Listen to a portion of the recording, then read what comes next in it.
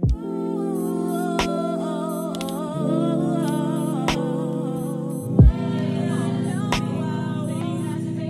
Hey everyone, it's the Notorious KIA. Welcome back to my channel. So in today's video, I'm going to be doing a much needed spring cleaning. I'm going to be cleaning out and organizing my closet. I'm also going to be giving you guys some tips and tricks on how to get your closet all the way together, okay? Today's video is in collaboration with Poshmark. If you guys aren't familiar with Poshmark, they're a mobile app where you can sell your clothes. You can also shop other people's closets. They have brands like Nike, Adidas, Louis Vuitton, etc. You should definitely follow me at the Notorious KIA and come shop my closet. If you guys haven't downloaded the app already, I will leave a link in the description box where you can download the app for free. We like free things, don't we?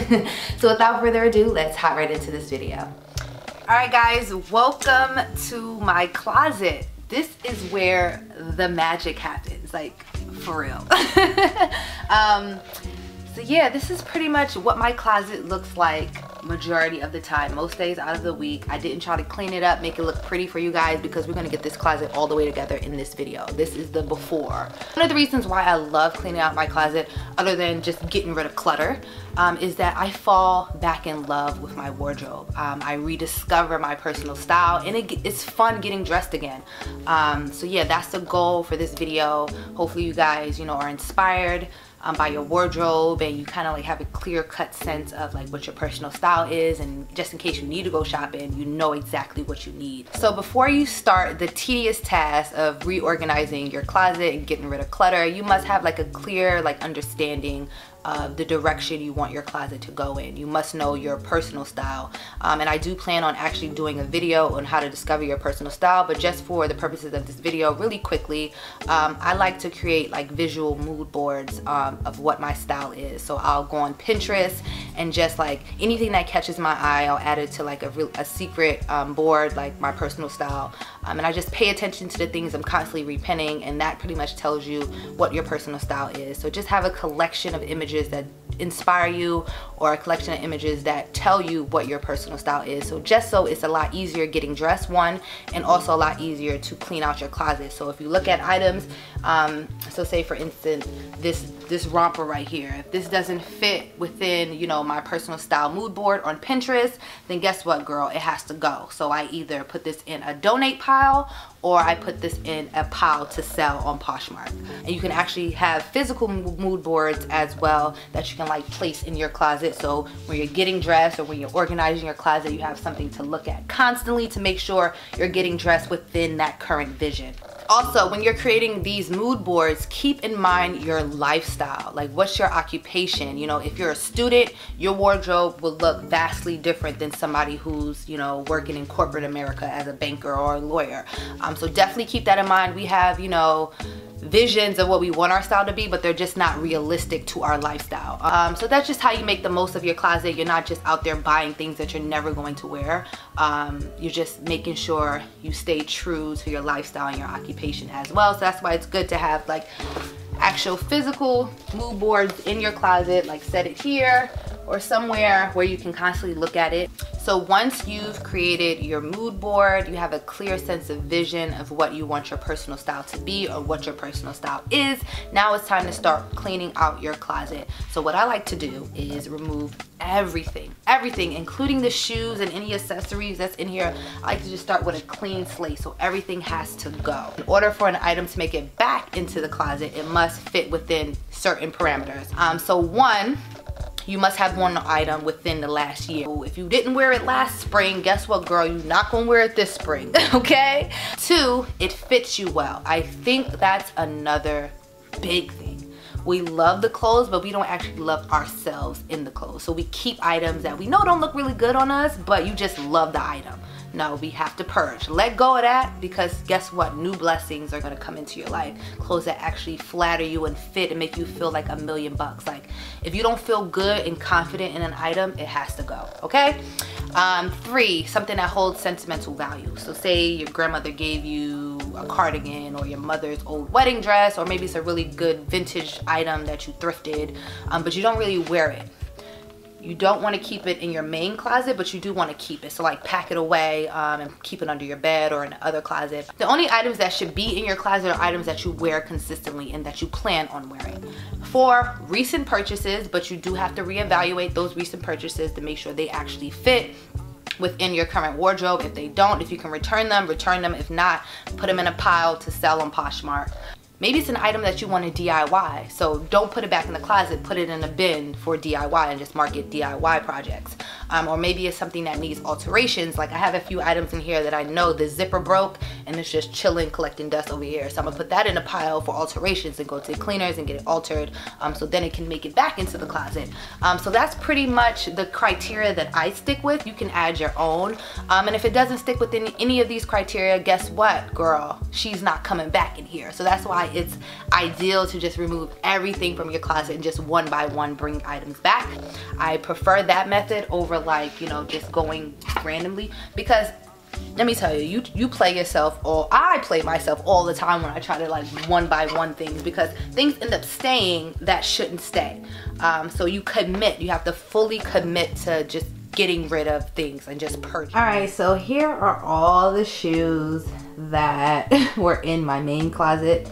I actually have a few more closets that have like shoes and stuff that I'm going to do separately, but these are the items that are in my main wardrobe.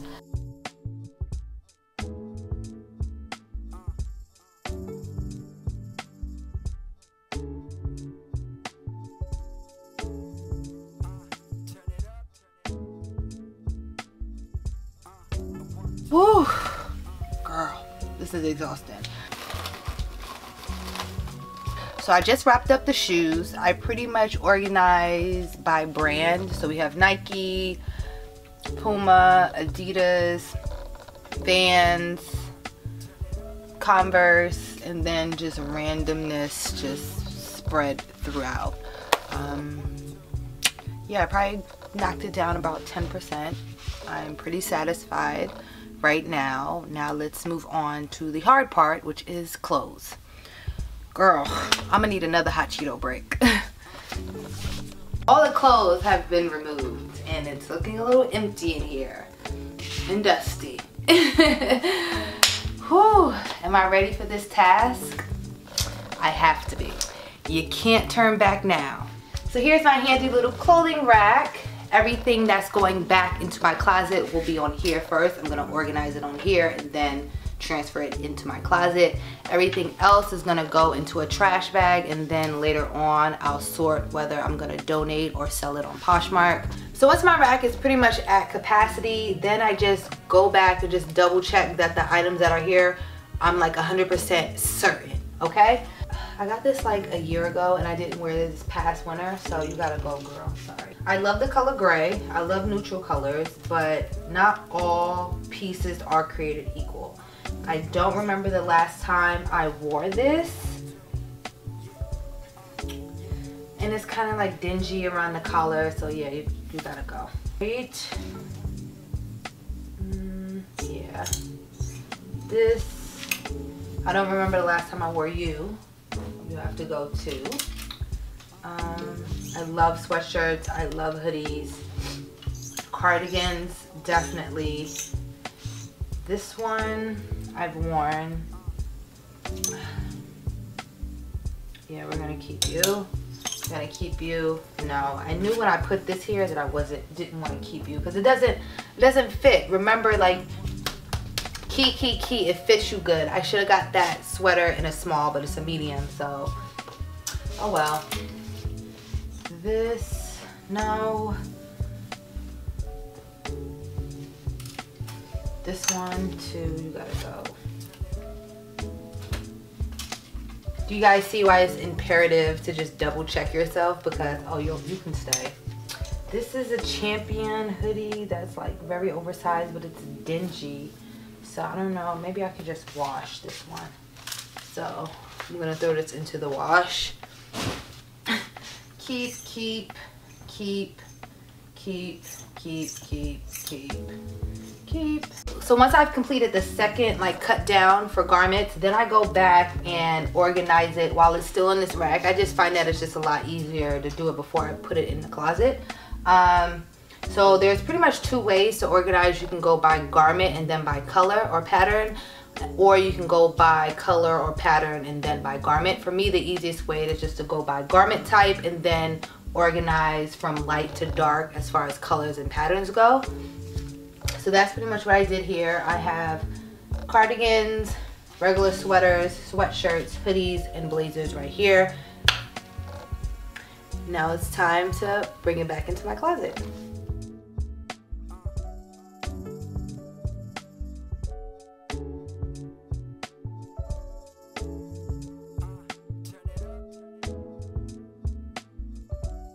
Far as hangers, um, I want everything to be uniform, so I'm switching over everything to these black velvet hangers.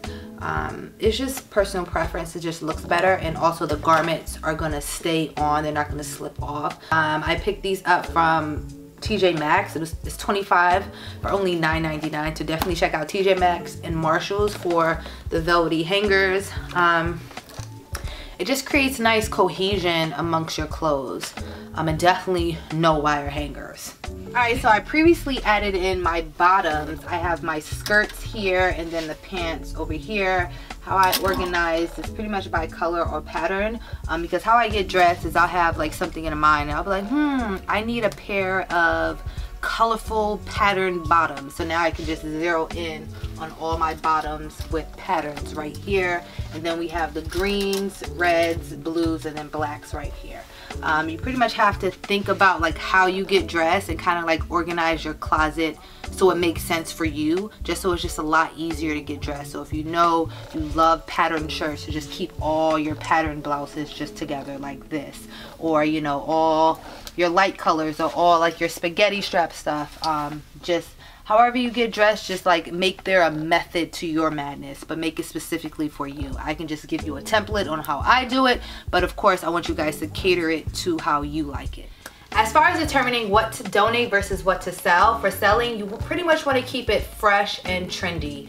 Um, definitely items that still have the tags on them are great to sell. Items that are gently, gently worn, meaning like one or two times. They're not dirty, um, they're not torn or have any damages whatsoever. Those are great items to sell. Um, you definitely want to keep it in season. So save all your outerwear that's super heavy and chunky um, for the winter. Save it for the fall time. You know, put those things aside because they're not going to sell right now. People are spring ready and getting summer ready. So you want to make sure you're selling summer and spring clothes right now. Just pack away all the sweaters and heavy outerwear and save that for later. If, if I can go in the store and get it right now, that's a good item to sell because you're probably going to sell it a lot cheaper than you can get it in the store. Um, also, like for our your vintage lovers, your thrift lovers, like I love um, buying and selling items from the thrift store. That's something that's like super unique, one of a kind. Um, those are great items to sell. For me personally, um, I think about the items that I've bought from Poshmark and they definitely were outerwear or shoes. Um, so definitely, you know, think about that before you start selling. Other great items to sell are basics and staples. So denim jackets is a staple, right? So this will always sell. Outerwear is something that, you know, is going to stay with you for a couple of years, hopefully. Um, so a denim jacket like this distress one is a really great item to sell and also still has the tag on it. Um, also this you know, white denim jacket, which still has a tag on it as well. And it's lacing up, which is really trendy. Um, so this is a really great item to sell as well.